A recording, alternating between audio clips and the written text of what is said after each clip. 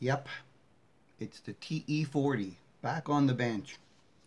It won't let me go, or I won't let it go. I'm not sure which one it is, but um, I had this neck off of the TE40 number one that I had leveled. And then um, after I did all the work on this one from the last video, I'm thinking, why is it still choking out? And so I got it off again. Right? And I'm looking down the neck and I'm thinking, damn. You know, it doesn't seem level.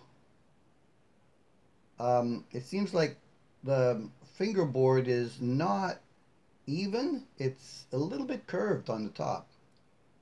And I'm thinking, wow, man, I don't know. And then I took the other one. I was looking at it and I'm going, oh, it's the same. It's got a curve right down the top of this thing. So I spent some time a couple of days ago and I ground down the middle of the frets on this one. I was thinking of maybe swapping everything over here and uh, and see if that'll work to make it stop choking out. The fretboard is still, you know, but it's curving this way. So I'm thinking if it's higher on the treble side and it's curving this way, and I took a lot of meat off of here, maybe when I bring the string up, it won't choke out. That's my thinking. Who knows if it'll work. And then I also have to do something, you know, with the nut on this one because um, this nut is gone. And I had to make this one work and build a shim to put in there. Uh, I don't relish the idea of doing all that work again. But I'm going to see what may or may not be able to be done with it. Stand by. So I decided before going and taking off the neck to level these back end frets, frets a little bit more, flatten them off, level them in themselves and take it down sort of like a fall away and see if that'll do it before I go the other route. So now all I have to do is get all my sandpapers out and recrown these back end frets.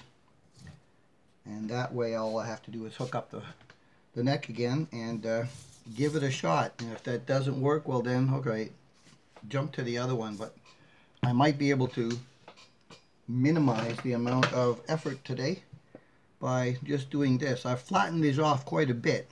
There's one, two, three, six, seven. Seven of these uh, came down quite a bit. And then you know, this one only had a little bit at the end. Uh, again, just a tad, just a scuffing.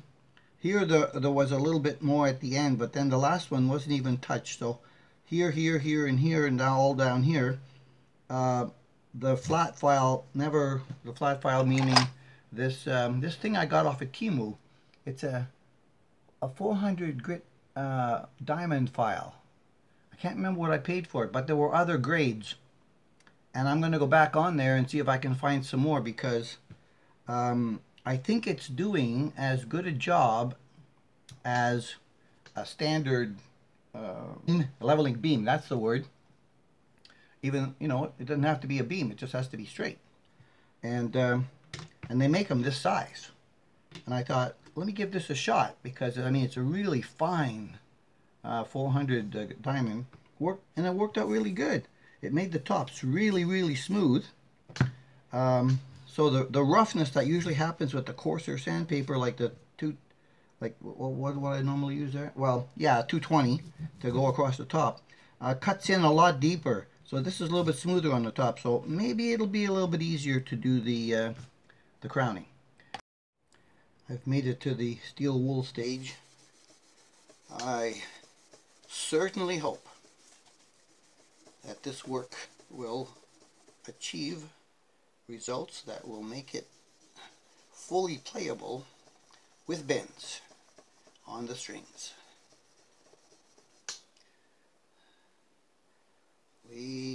We will see. Only a couple left to go. Looking good. Alright. I think this is shiny enough. I don't need that anymore. And I'm going to have to go through uh, cleaning up the gook off of this stuff. So give me a sec. We'll see where we go. Okay, I'm even going to be optimistic enough to put some more oil on it. Whether whether or not I know it works at this point, doesn't matter. I'm just going to do this just in case. Just in case. I have to swing all this around. And uh, get it back in place here. Ah, come on.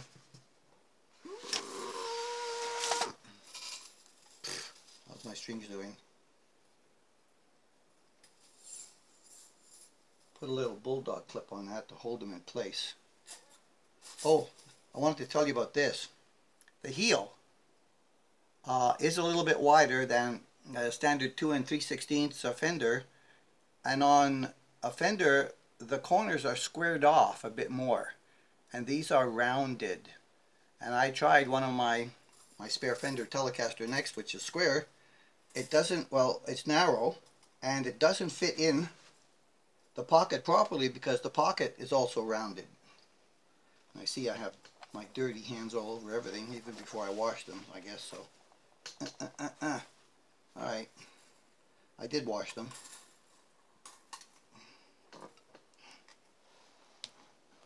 Okay. Okay, I broke the high E string as usual when you're doing up and down there too many times. The B string is working.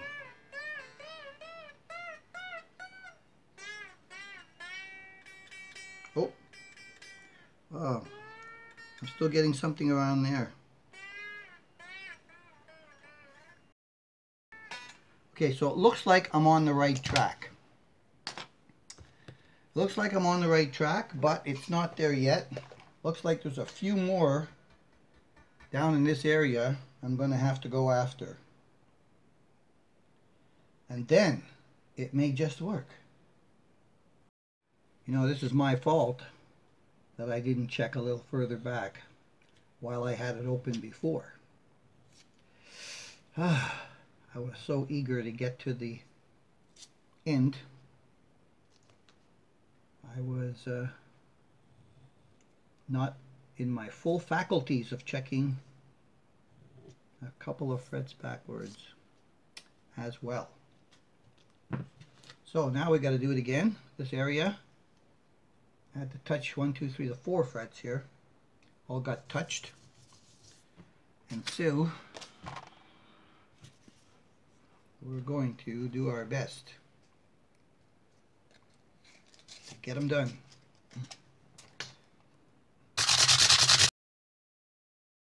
All right, let's see if we have any trouble here.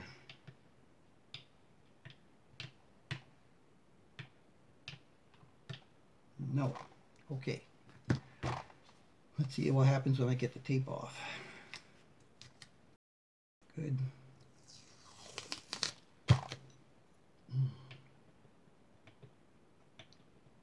Oh, I got a tiny rock. Shit. Oh man. There's some bad words coming. Well, it turned out to be at least two because once I took meat off of one, then the other one became high. And this is where you run the risk of chasing. Because once you take meat off of one, then the possibility of the next set having been higher if it was previously leveled is a, a distinct possibility, which is what happened here. So let's uh, hope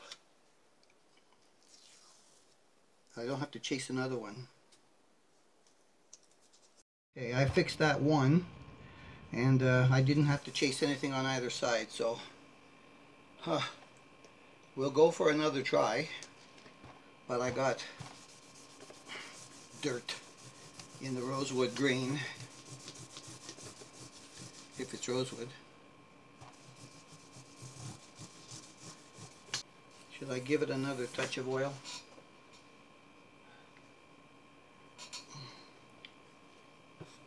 I'm really tired of giving this thing the benefit of the doubt. I have been uh, having thoughts of the fire pit again like I did uh, with number one. Alright. Nobody can say I didn't give this the best shot it ever had. That's for sure.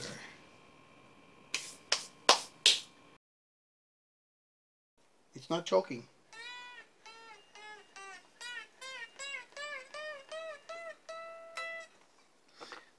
Showing promise. Guess we'll put that on. Alright. The string is on. She's tuned up. She's still in there.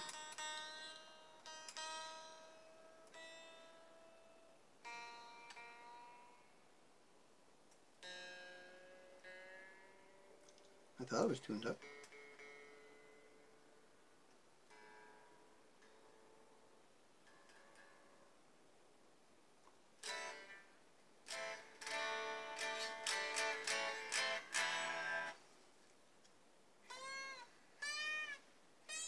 Oh. So, apparently there's nothing I can do to stop this. And the relief is good. Well, disappointing. I think a long break to clear my mind is in order.